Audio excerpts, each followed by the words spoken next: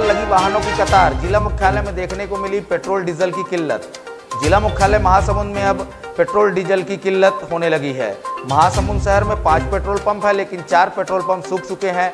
ना वहाँ डीजल है और ना ही पेट्रोल।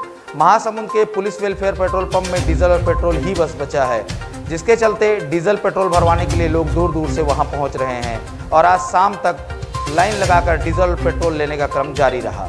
बता दें लोगों के मन में शंका भी है कि कहीं आपूर्ति सही नहीं होने के चलते डीजल और पेट्रोल खत्म हो जाएगा तो उन्हें आवश्यकता के समय पर पेट्रोल डीजल नहीं मिल पाएगा।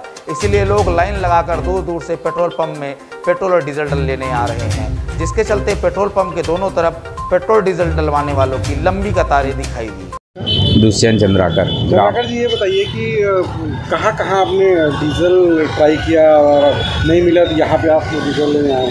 मैं बकमा का रहने वाला हूँ। किसान हूँ बकमा का।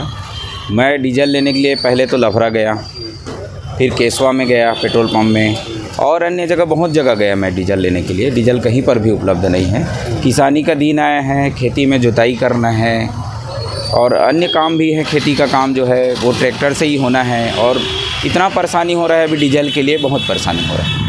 आगे भी नहीं नहीं मिल पाएगा, मान लो हमको डीजल तो उससे खेती में, हम खेती समय पर नहीं कर पाएँगे।